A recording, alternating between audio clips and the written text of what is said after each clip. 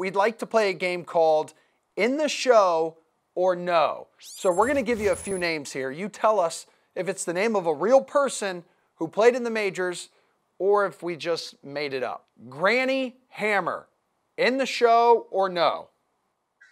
No. Wrong. Real name, real person, shortstop on the 1950 National League champion Philadelphia Wow. Phillies. Bud Weiser. Ball Weiser, come on, man.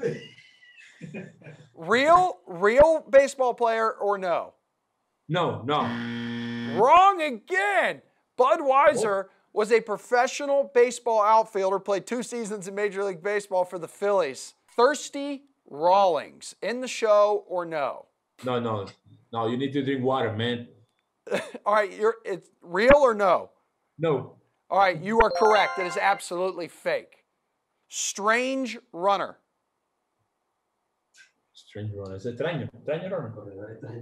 Strange runner. No. What, what are you using a lifeline right now? You have people helping you out? yeah, you're right. No, it's not real. All right, two more. Buttercup Dickerson. What's the what's the first name? Buttercup. Might be like a nickname you've had for, you know, one of your friends. No, no.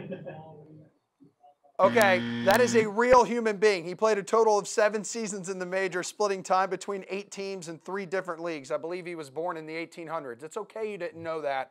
Last one, Butch Otter. Butch. Butch Otter. Butch. uh, Butch Otter. is that, I think that's a real name. Incorrect. It's as fake as my online PhD, my friend. It's okay though. It's all right. I believe you got like one or two right, which is more than I got right, and that's okay. And all I'm supposed to do is read the prompter. Uh, Jose Berríos, I appreciate it, man. You are the man. Thank you so much.